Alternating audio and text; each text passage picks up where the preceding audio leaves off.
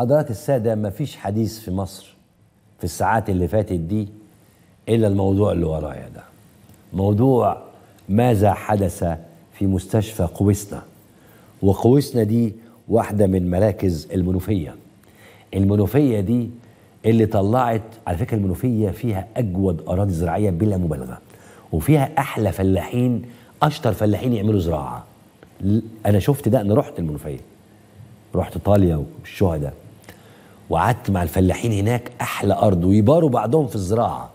لكن المنوفية كمان اشتهرت من بعد السادات بأنها بلد الرؤساء. والمنوفية فيها أكبر نسبة ناس داخله الجيش. أغلب المنايفة يحبوا يولدوا ولادهم جيش. زي الصعايدة يحبوا الني- النيابة والشرطة. المنوفية جيش. مصر ما فيهاش حديث إلا موضوع مستشفى اوسنا واللي حصل في مستشفى اوسنا مشهد الكرباج اللي رجع مصر زمان للعبيد والسادة. ماشي؟ لكن إيه حقيقة اللي حصل في الحادثة دي؟ حادثة ببساطة ليها روايتين. الرواية الأولى هي كلام الأطباء والتمريض وهي إنه مراد ضابط طيار دخلت مستشفى اوسنا لعندها اشتباه في نزيف للحمل. الدكاترة اللي كانوا في المستشفى في اللحظة دي كانوا في العمليات. فأهل المريض ما عجبهمش الموضوع واتصلوا بالضابط. كبير العيلة بقى نورت العيلة.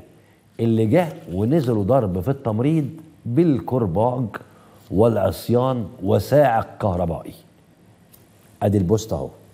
إحنا نقول اللي علينا واللي ده دكتور سام يوسف و PhD يعني بروفيسور قال أو كتب بيقول هذا هو الطيار هو الضابط الطيار الذي اعتدى هو وعائلته على خمس ممرضات زائد ثلاث عاملات اتضربوا ورجليهم وإيديهم اتكسرت زائد ممرضة كانت حامل وأجهضت. بعد استخدام الكرباج في ضربها من جانب أم الضابط الطيار وهو شارك في ضرب طاقم التمريض. الخطير هنا في هذا الاعتداء هو الرمز النفسي المريض لفكرة استخدام الكرباج. ده دكتور بروفيسور آه، أحد الشهود. نشوف بقى من بعيد لبعيد يا حبيبي سلم كده. نشوف كده من بعيد الضرب بالكرباج.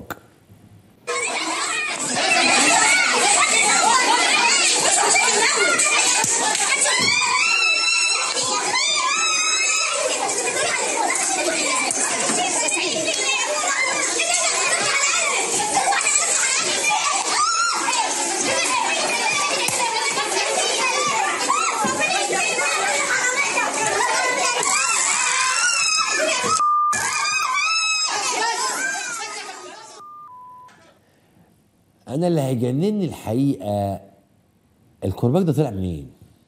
من امبارح على قناتي بسأل السؤال ده. أيوه الكرباج ده طلع منين؟ إزاي؟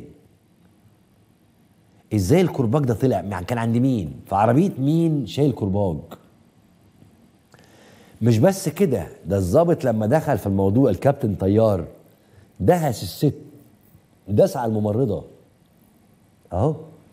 دخل داس عليها برجله عجنها. دخل داس عليها برجله عجنها. بص عجنها مش بني آدم أصلا. مش بني آدم أصلا. تخيل أنت ممرضة. تخيل أنت ست. أنا بتخانق مع ست. ست يعني. احطها تحت رجلي وأدوس عليها اعجنها هم بيعلموهم كده على فكرة. إن أنت إحنا بشوات البلد. والله العظيم هم بيعلموهم كده. الإعلام بيعلمهم كده. التد... أمال أنت لما تبقى ابنك في مدرسة وشايف آه، سياده مدير المدرسة والسيدة وكيلة المدرسة وبعدين يشوف جنبه واحد ظابط واقف عامل كده. ظابط جيش. ويشوف الناظر أو مدير المدرسة بيتوسل للظابط الجيش. هم بيعلموهم كده. إن الجيش ده هو دي العيلة العلوية العيلة اللي مالكة البلد. ماذا يعني كرباج في عربية حد؟ شيء عجيب. الكرباج ده كان زمان لما كانوا يخشوا ال- المماليك أو الأثرياء بتوع مصر يجلدوا الفلاح عشان يدفعوه ضريبة. ثم انحدر الزمن ده وانتهى واقتصر الكرباج على هيئتين. على سجون مصر. لا زال فيها كرباج لحد دلوقتي. وعلى العربجية في الشوارع اللي هم بتوع الحناطير بس. وغير ده كله بقى الراجل بيدوس على الممرضة برجله. هات الصورة تاني الله يخليك. بيدوس عليها برجله. بيدوس على بني آدمة برجله. برجله. أهو. بيدو بيعجنها بعد ما خدها اتنين مش عارف بنيتين في صداغها بيدوس عليها برجله. نسمع كده من الممرضة من نقيبة التمريض بتحكي القصة وازاي الضرب حصل بالصاعق الكهربائي كمان. اسمع. إحنا مطالبنا هو يعني زي يعني البيان اللي طلع في الحقيقة وده بيان محترم جدا آه، المتحدث الرسمي آه، يعني آه، عايزه أقول لحضرتك إحنا يعني اللي غلط ياخد بس عقابه يعني دول ناس إحنا بنقول الجيش الأبيض وبنقول ملائكة الرحمة وبنقول إن هم سايبين بيوتهم وقاعدين يستقبلوا المرضى وده واجبنا وده قسمنا اللي إحنا أقسمنا عليه لكن مش جزاتهم إن هم يعني أكيد حضرتك شفت الفيديو. أنا بسمعك يا دكتورة كوثر عشان تقولي كل اللي عندك يا فندم. يعني أكيد حضرتك شفت الفيديو ده مش جزاتهم شيء إن هم يدفع وبشع. لهم حزام وساعد كهربائي وعيلة كلها حريم ورجالة يضربوا ال- التمريض والتمريض سيدات طيب. وبنات. فأنا آسفة جدا في اللي أنا أقوله ده لو حد مش مش بني آدم حتى ما يتعملش فيه كده. ما يتعمل في في لو هم افتراضا رغم إن هم ما قصروش يعني الواقع إن الحالة جاية والحاله جاية باجهاد منذر نزيف بسيط الدكاترة في العمليات. التمريض اتصل بالدكاترة في حالة واحد اثنين ثلاثة قالوا لهم اعملوا لهم سونار. يعني في إجراءات بتتاخد ما ما ما ما يعني المريضة ما أهملتش. ورغم كده ال- الأهالي ما عجبها يعني الدنيا كل الناس الدكاترة تسيب الحالة اللي في العمليات وتيجي يعني إحنا تعاملنا معاها آه، معاملة آه، برضو علمية ومهنية. ما قصرناش معاها. الرواية التانية بقى هي كلام أهل المريضة نفسها. اللي بيقولوا إن حالة مرات الطيار كانت خطر وإن المستشفى تعاملت معاهم بتهاون وحبسوهم جوه المستشفى زي ما البوست ده بيقول. أهو تسمح لي أنزل كلامك عشان الناس يبقى عندها كلام أهل المريضة. زوج المريضة وأخوه كانوا وصلوا إلى اللي هو رائد طيار بالمناسبة طل طالما قالوا ضابط جيش بلطجي بيعتدى عليهم لقى زوجته بتموت هي والبيبي بدون مبالغة. وحصل انفصال في المشيمة وهي حالة نزلت البيبي. مش عارف حط نفسك مكاننا مثلا المفروض أتصرف إزاي أنا وإخواتي؟ ي- بيتضربوا وزوجتي بتموت. أتمنى من حضرتك يعني ده وهم على باب الطوارئ. أنا ببعت لحضرتك الفيديو. أنا أقول لحضرتك الموضوع عشان دي المشكلة اللي حصلت مع عائلتي. دي مرات أخويا جالها نزيف عشان حامل وكانت بتموت بدون مبالغة. وداخلين بيها الطوارئ الممرضات بنست بنستحيل عليهم بنتحايل عليهم يعني عشان يتصرفوا يندهوا دكتور يعملوا أي حاجة عشان يلحقوها هي والبيبي بمنتهى البرود. طلعوا طلعوا طلعوا طلعوا لينا هنا.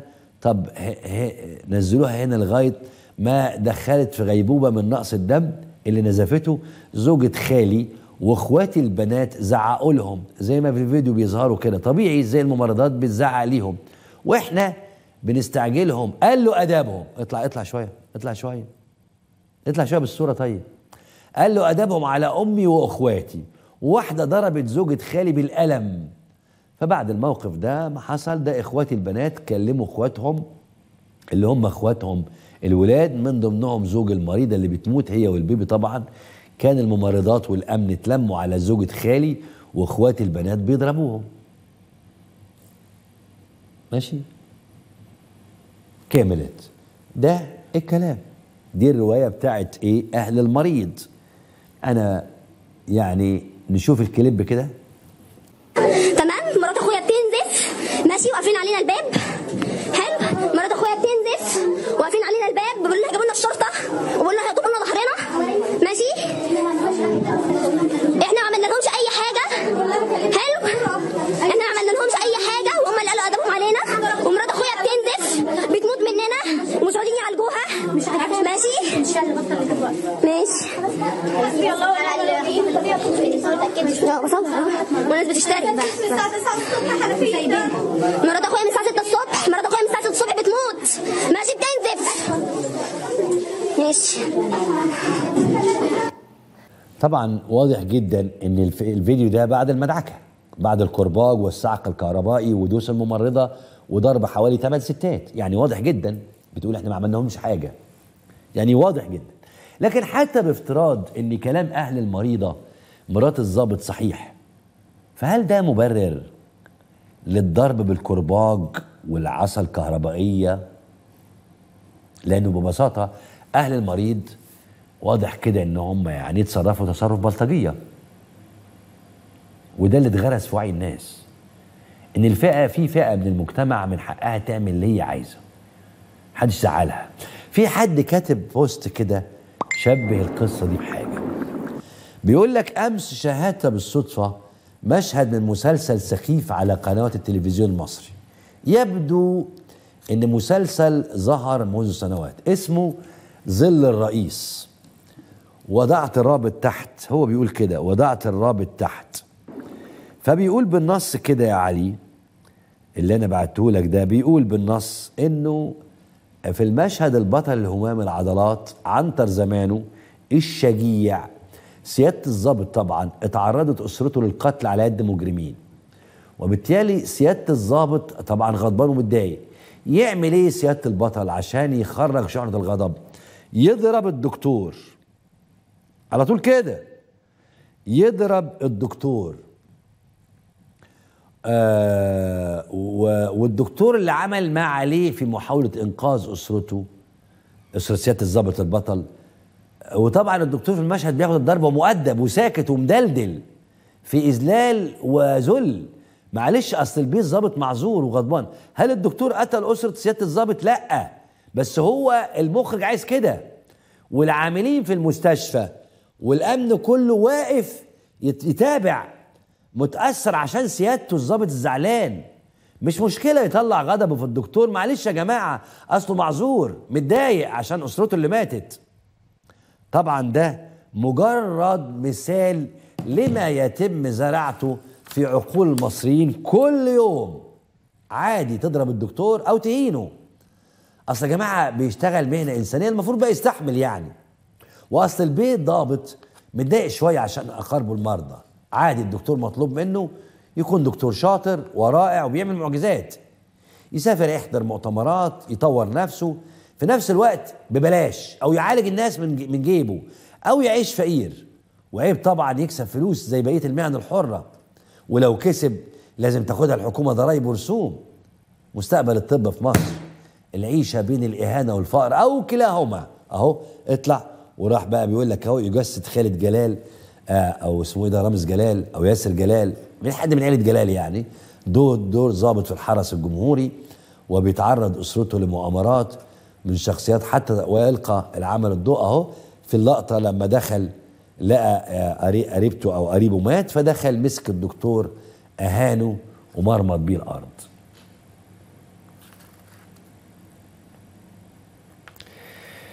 الحقيقة إنه ببساطة آه حصل إنه أهو أدي شايف الصور اتفرج الصور. ماسك الدكتور عمال موته يا ابن ال- الحاجات دي يعني. الحقيقة إنه حصلت كمان محاولة من الإعلام الرسمي لتخفيف الموضوع.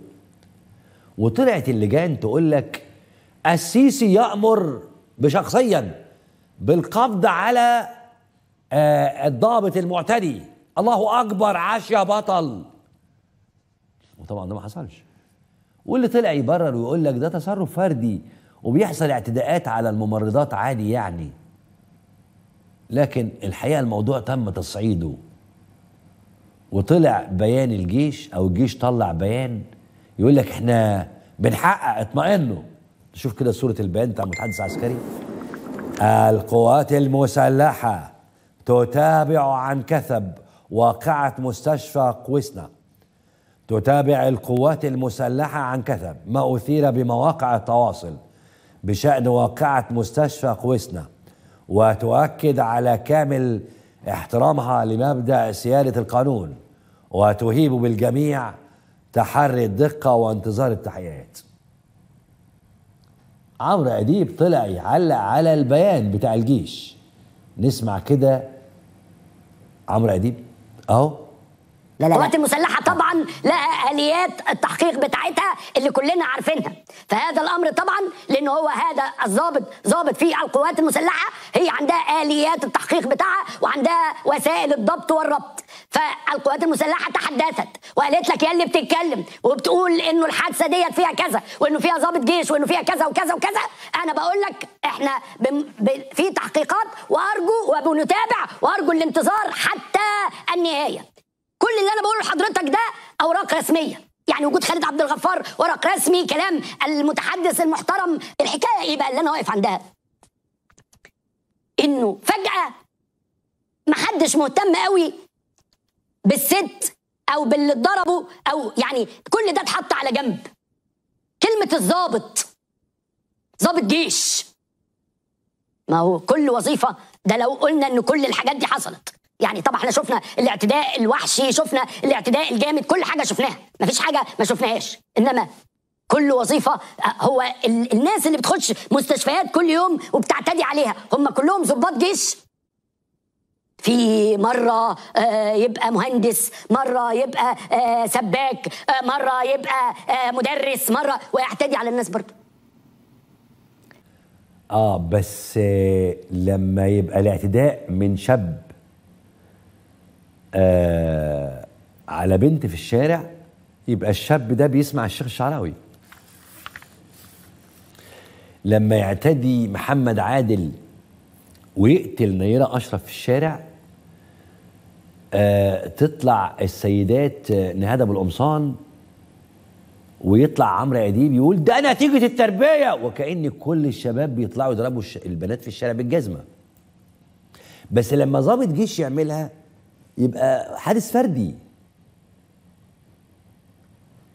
لما تطلع يطلع شاب يضرب بنت في الشارع وهو فعل مستهجن فيبقى ده نتيجة التربية والشباب اتغيروا والتربية حصل فيها مشكلة وده نتيجة الذكورية وتطلع نهادهم والقمصان والبوكسرات. تطلع تقول لك الذكورية المجتمع الحاجات الدين.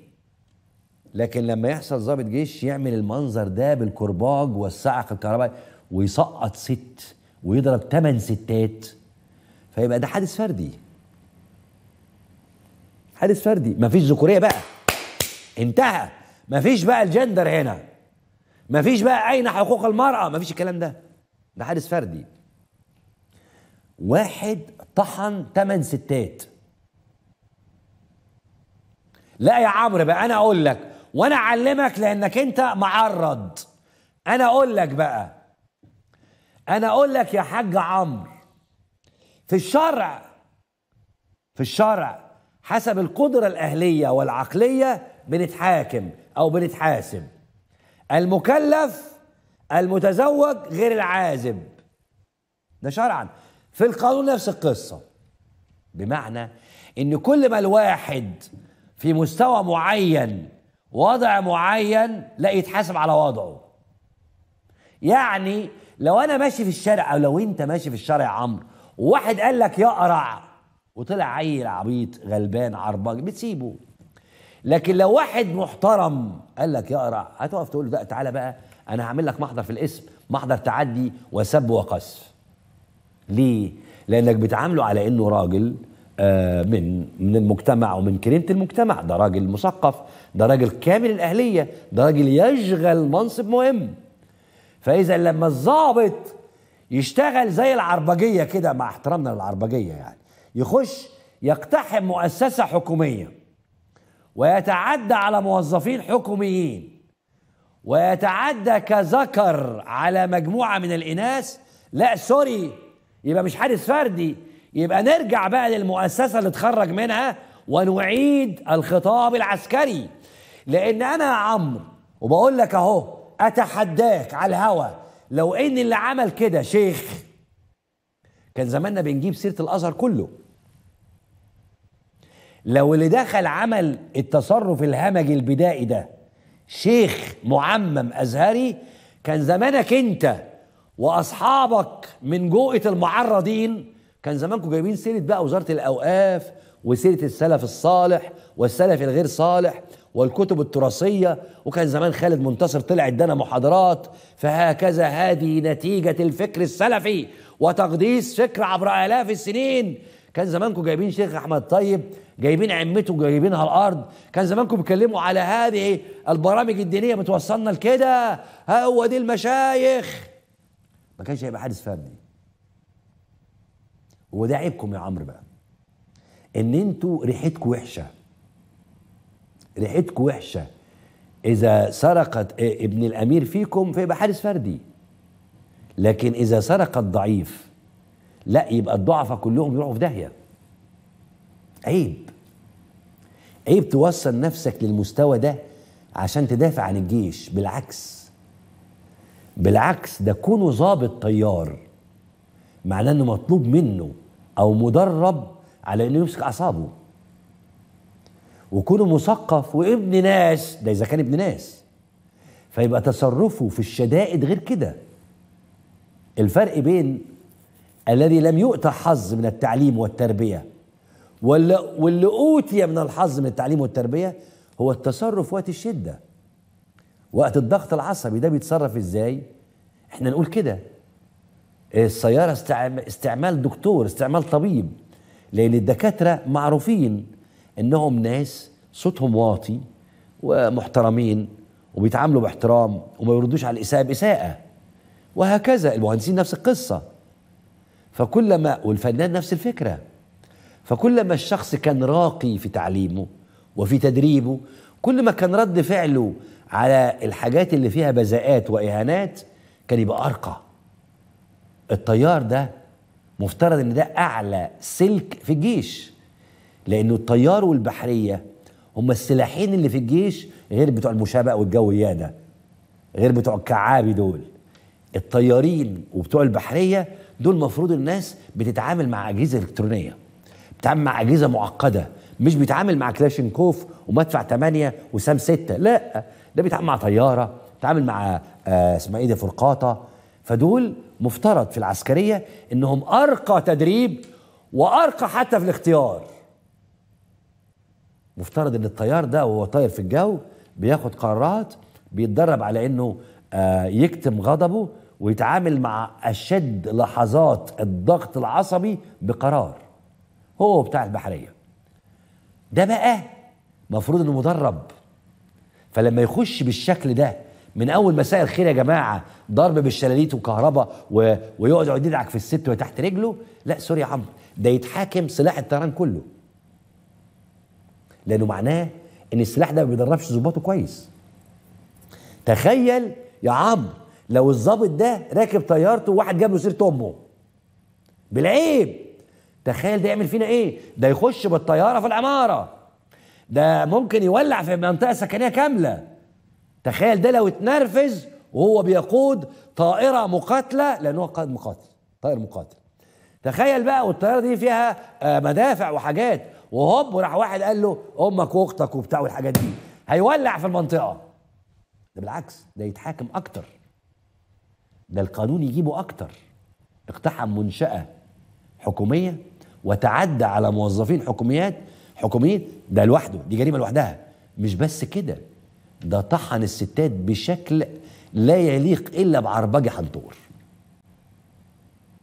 فين بقى الستات نهدى بالقمصان فين الباكيات على نيرة أشرف؟ تمن ستات. تمن ستات اتطحنوا. وأقسم بالله العظيم أنا ما بقول الكلام ده عشان إنه ضابط جيش. لا. أنا بقول لأن البلد بقى فيها خيار وفقوس كريم الهواري يدوس عيال وهوب يتعمل له قضية كده. ابن بتاع الغردقة الف ليله وليله ده؟ اسمه إيه؟ كامل أبو علي. يطحن مهندسة مي اسكندر يطحنها. وهو سكران وماشي مخالف. وزي الفل. نخنوخ يطلع من السجن. زي الحلاوة. عربجي. آه بلطجي. بس يطلع من السجن زي الحلاوة. محسن السكري ياخد مليون دولار عشان يقتل واحدة وثبت بالتحقيقات واخد إعدام ثم أخد مؤبد ويطلع عادي جدا في الإعفاء الرئاسي. هشام طلعت مصطفى يدي الواحد مليون دولار عشان واحدة رفضته فيبعت واحد يقتلها وبعدين يبقى شريك في الجريمة ياخد مؤبد وبعدين يطلع برضه براءة. أخو بطرس غالي ممسوك في قضية آثار وثابت بالتحقيقات بالتعاون مع قنصل إيطاليا في مصر وإيطاليا هي اللي بلغت وياخد 15 سنة سجن. ودلوقتي في كلام إنه طالع. إيه دي البلد. عارف يا عمرو في السعودية؟ بقى خلينا الأول في أمريكا. أروح لأمريكا. ضابط شرطة في أمريكا. تعدى على ممرضة. والنبي يجيب لي الخبر ده الله يخليك. ممرضة في أمريكا. يا جماعة يا كنترول يا نايم. في أمريكا. ضابط شرطة تعدى على ممرضة. دفع لها نص مليون دولار تعويض. ارجع للبي بي سي. فين يا علي؟ فين؟ أهو حصلت على نص مليون دولار لمواجهتها الشرطة وحماية المريض. أهو بفضل إصرارها على تطبيق قوانين المستشفى. ولو في مواجهة الشرطة حصلت ممرضة على تعويض بقيمة 500 ألف دولار. إيه بقى اللي حصل؟ القصة تخص ممرضة في ولاية بوتا أو sorry يوتا الأمريكية التي حصلت على التعويض خلال هذا الأسبوع في إطار تسوية نقدية مع مدينة سالت ليك سيتي وجامعة يوتا التي تدير المستشفى وتعود القصة إلى رفض الممرضة السماح لشرطي بأخذ عينة دم من مريض. رفضت تدي للشرطة عينة دم من مريض. ويتعلق الأمر مش عارف بإيه شاحنة بسائق شاحنة كان فاقد للوعي. إثر حادث سير. وبررت الممرضة رفضها بعدم توفر آه الشرطي جيف باين على إذن من المريض عشان ياخد منه عينة أو ترخيص. فرفضت. غير أن الشرطي الذي كان في حالة غضب قام باعتقالها وقيد يديها بعد دفعها إلى الجدار قبل أن يطلق سراحها في وقت لاحق دون توجيه أي تهمة إليها. وقد اشتهرت القضية بعد حصول الممرضة ومحاميها على فيديو من كاميرا المراقبة التي كان الشرطي يحملها إثر طلب تقدم تقدم به وقد جرى بعد ذلك تداول لقطات من الفيديو على الإنترنت وأقيل الشرطي من منصبه بعد تحقيق قامت به الشرطة التي قدمت اعتذار عن تصرف الشرطي كما أكدت إدارة المستشفى أن الممرضة تصرفت وفق السياسة المتبعة في المستشفى وخدت نص مليون دولار. وأقيل الشرطي والداخلية اعتذرت. على فكرة والله ما عمل لها حاجة ده قيدها من إيديها وبالكلبش وخدها اعتقال واداها الاسم شوية ورجعها. لا ضربها ولا اهانها ولا كرباج ولا عصام كهرباء ولا داس عليها. وهي رفضت تديله عينه لأن هو ما عندوش تصريح. من واحد عامل حادثة. سواق عامل حادثة والشرطي جايبه. عايز عينة منه يا مدام عشان نعمل له المحضر ونخلص. ما مش مش هديلك ليه؟ ما عندكش إذن. ليه ما عندكش إذن؟ المريض مش مش عايز.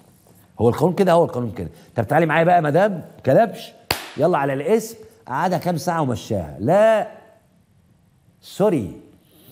أنا مواطنة وبشتغل وعملت شغلي. فتعتذر وزارة الداخلية وتدفع نص مليون دولار غرامة للممرضة ويقال يقال الضابط ده. هنبعد بعيد ليه؟ في السعودية الشقيقة الكبرى جنبنا. لو تعديت على ممرض عشر سنين سجن. يافطة متعلقة في كل مستشفيات السعودية. لو تعديت اديني اليافطة عادي الله يسترك كده. لو تعديت على ممرضة أو ط- حد من طاقم التوريد آه وزارة الصحة المملكة العربية السعودية. الاعتداء على الممارس الصحي لفظيا أو جسديا جريمة يعاقب عليها القانون بالسجن تصل عش- عشر سنوات وغرامة تصل إلى مليون ريال. بإمكانك إنك تاخد حقك من خلال التوجه إلى حقوق وعلاقات المرضى أو كلم 937 أنت متخيل؟ الاعتداء على الممارس الصحي لفظيا أو جسديا تتخبط فيها 10 سنين سجن أو مليون جنيه مليون ريال. عندنا طالع وزير التعليم يقول للممرضة حقك عليا. عندنا استدعوا للنيابة من حقك بعد ما الدنيا عاصت عندنا بتاع الصحة بتاع ويسنا قال لهم إحنا ما عملناش إحنا عملنا لكم المحضر وزي ما أنتوا عايزين بس مش دعوة بعد كده هيحصل إيه؟ ماليش علاقة. الدكتورة هند دي بتاعتهم تقول لهم يا جماعة ما هم كمان مقدمين محضر. وتطلع أمه أو حد من ست كده لابسة حاجات كده وبتاع تقول لك آه، هيعمل إيه ابني لما يلاقي أمه مضروبة بالقلم ومرمية على الأرض؟ أنت كدابة. أنت كمان كدابة. أنت كدابة كمان. دي مش دولة قانون. وبص عمرو أديب يقول لك إيه؟ عشان ضابط جيش. آه عشان ضابط جيش. إيه رأيك؟ أيوه. المفروض ال- وزارة الد- الدفاع تعتذر وتدفع غرامة ويقال هذا الضابط. أيوه عشان ضابط جيش. أيوه. أيوه عشان ضابط جيش عمرو غلطة الشاطر كبيره